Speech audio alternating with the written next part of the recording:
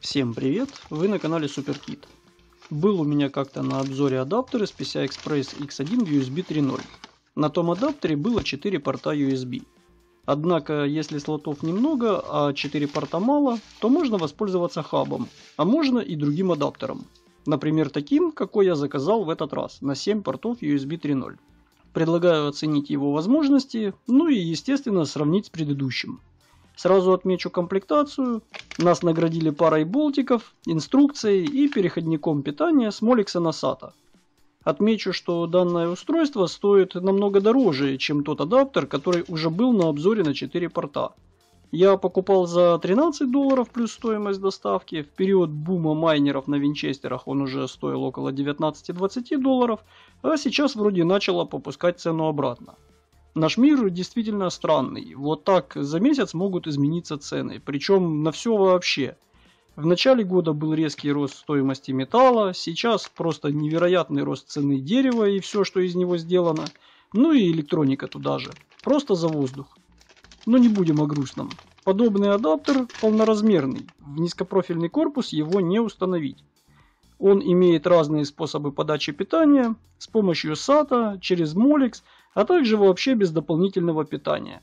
Китайцы сейчас все больше подобных плат именно в таком варианте выпускают.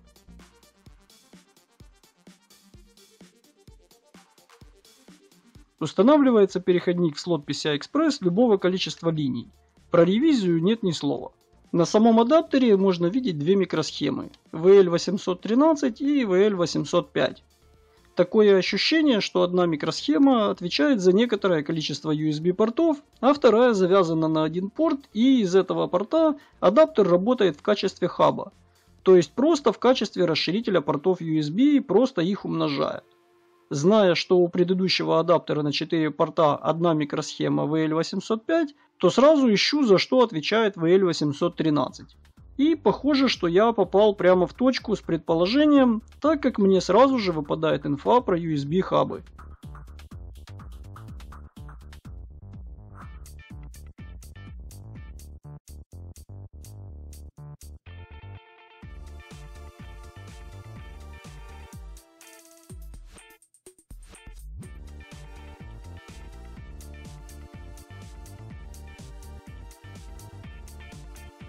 Если же посмотреть по дорожкам, то явно видно, что от микросхемы, которая ближе к порту питания SATA, дорожки ведут к четырем портам USB, находящиеся в одной стороне с микросхемой. А микросхема около разъема PCI Express соединена с тремя USB портами в этой части адаптера. Диска в комплекте нет, но в инструкции есть QR-код, который перенесет нас на сайт и прямая ссылка на драйвер.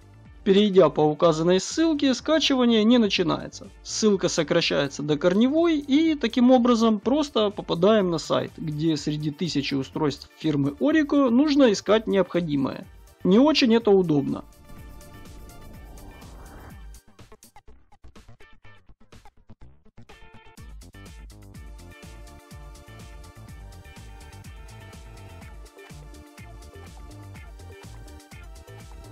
Тем не менее, потратив до пары минут на поиск, я все же нашел именно этот адаптер. А вместе с ним и описание с драйвером. В описании указано, что для раскрытия возможностей устройства нужен слот не ниже PCI Express X1 ревизии 2.0.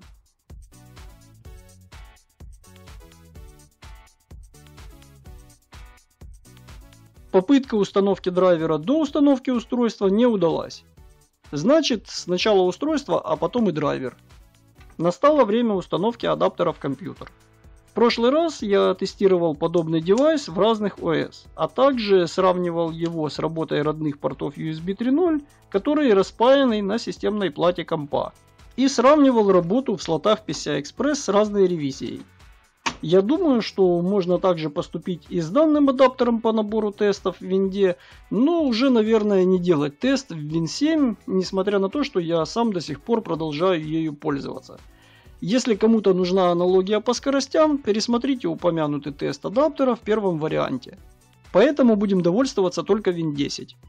Системный браузер в BIOS, том самом, который модифицирован и в который добавлена поддержка NVMe, отображает данный адаптер следующим образом. качестве устройства, которое обеспечит скорость, будет мой внешний SSD. Тест будет во всех случаях проходить в Crystal Disk Mark и HDTune. Этого будет достаточно для оценки.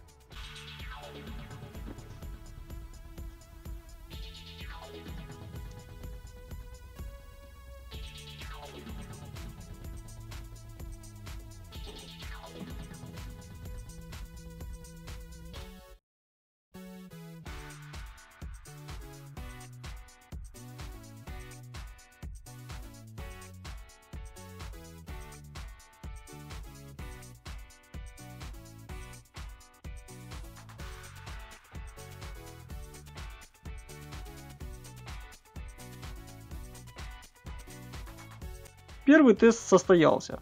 Переставляю адаптер в слот PCI-Express X1.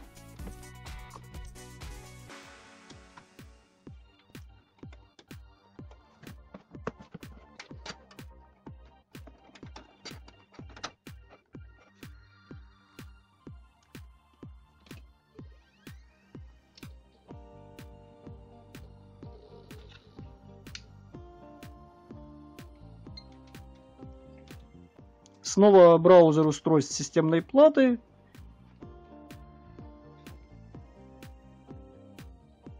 Тот же внешний SSD и те же тесты. Сразу видно, что скорости чуть медленнее. Если взять максимальную скорость чтения, то разница около 4%, а по записи и того меньше около 3%.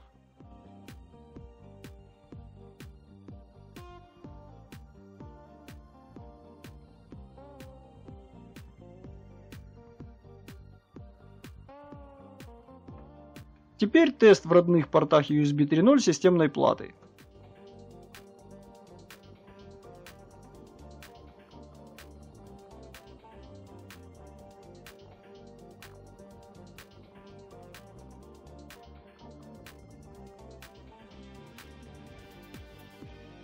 Как и ожидалось, по аналогии с тестом предыдущего адаптера, скорость в них выше.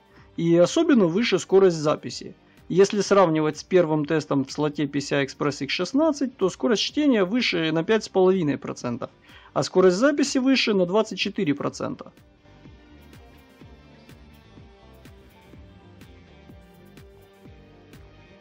Поскольку мы сэкономили время на тестах в разных версиях OS, делая тест только в одной версии винды, то предлагаю еще один тест, сразу двух устройств. В качестве еще одного внешнего SSD сделаю свой Samsung 860 EVO на 1 терабайт.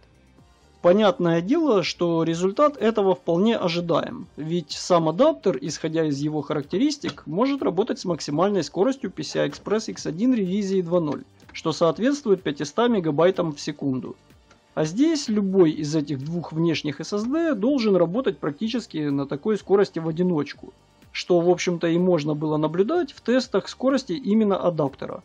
Вот и посмотрим, что будет, если запустить тест скорости сразу двух быстрых устройств, суммарная скорость которых заметно превышает возможности PCI Express X1 ревизии 2.0. Как можно видеть, ответ доступен сразу же после появления первых значений. Суммарная скорость 427 МБ в секунду. Что и можно было видеть при тесте одного SSD, который в одиночном тесте давал столько же. Получили ли мы USB 3.0? Я считаю, что да. Можно ли сказать, что он неполноценен? Отчасти тоже да. Если вставить два SSD, то максимальная скорость разделится между этими накопителями. Соответственно, если подключить 7 быстрых твердотельников, то она еще больше разделится.